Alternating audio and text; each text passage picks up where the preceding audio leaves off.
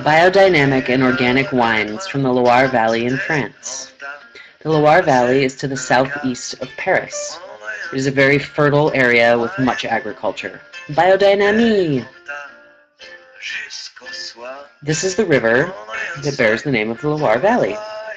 There are many canals and you can boat down it. It is also full of chateaus and pays much homage to Joan of Arc, who fought all of her crusades here.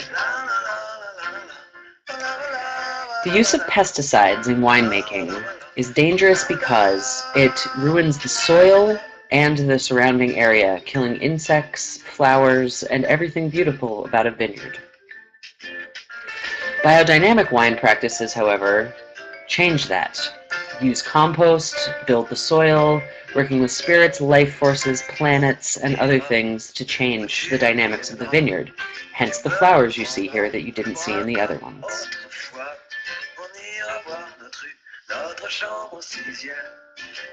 First we go to Amboise. Here, this is the vineyards of La Grange Tiphaine. It is a lovely husband and wife couple. These are their horses, and they plow their vineyards with that, and they only grow native grapes, and they do it all biodynamic and organically. This is a concrete vat, and these are the barrels in which it is aged in. And they keep the vineyard flowing beautifully together, and their neighbors all make cheese and meat, so we had to have a snack.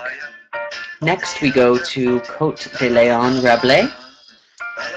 This is the vineyards of Les Sablonnettes. This land has been farmed in the family for four generations, and they continue to do it in the way that their great-grandfather Auguste did. As you can see, uh, the grass is green, everything's fertile, it's a lovely little ecosystem. Those are the trimmings in the buckets because they had just trimmed the vines. That's the grandfather's old car that they haven't removed yet. And this is the old uh, grape crush press. These are vines, old vines that they used to heat. And these are some of their wines. This is Jeremy showing us the wines. He is the son of the people who started to market them outside of France, and this pays homage to Auguste, the great-great-grandfather. And, of course, another picnic lunch with goat cheese. And this is a bit of a trip through Anjou. On the other side of the road is where they grow the pears with the namesake Anjou. And as you can see, some of these vineyards are not as lovely and happy as the others. You can tell by the brown grass around their roots. Next we move to Sancerre. Sancerre is famous for Sauvignon Blanc, and as with most famous regions in France, is prone to use a lot of chemicals on the land.